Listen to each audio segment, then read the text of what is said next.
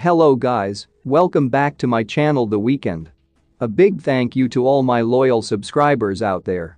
Meanwhile, if you're new here please support me by subscribing to this channel.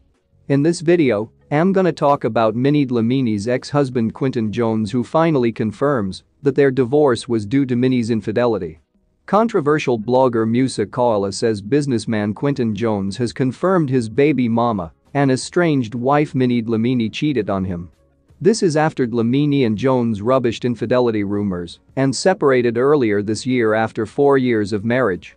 Tweeps took to Musa Khawula's post to lambast the sports television presenter Minnie Dlamini for allegedly cheating on her estranged husband of four years Quinton Jones. Rumors of Dlamini cheating on her baby daddy began earlier this year when Khawula stated she cheated on him with businessman Edwin Sodi. In a joint statement with her ex-husband Quinton Jones, Dlamini said they are aware of the rumors and they are not true.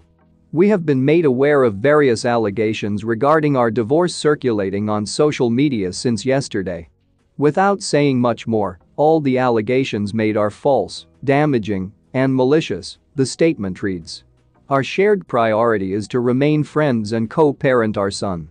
We kindly ask that you allow us to go through our private processes without dragging ourselves, our families, and our loved ones into baseless rumors and social media sensationalism. These baseless rumors affect not only us but our child.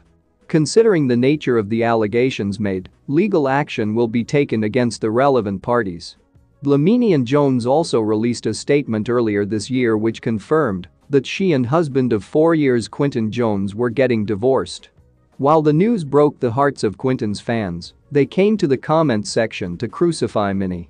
They were comments like, lol I don't understand men who marry these women honestly, I mean they are for the streets, you can't change what can't be changed. When a woman cheats it's always we fell out of love, but when a man cheats the whole world will know through the woman. Another fan even said now I'm starting to think she also cheated on Kuna. In my opinion, I don't think Minnie Dlamini should be dragged the way she was dragged in the comment section because as far as we all know blogger Musa Khawula is just so fond of telling lies about celebrities. We shouldn't just jump and start blaming and pouring insults at Minnie just yet. What do you think about this? Leave a comment to share with us your opinion. Thanks for watching this video. See you soon with more interesting updates.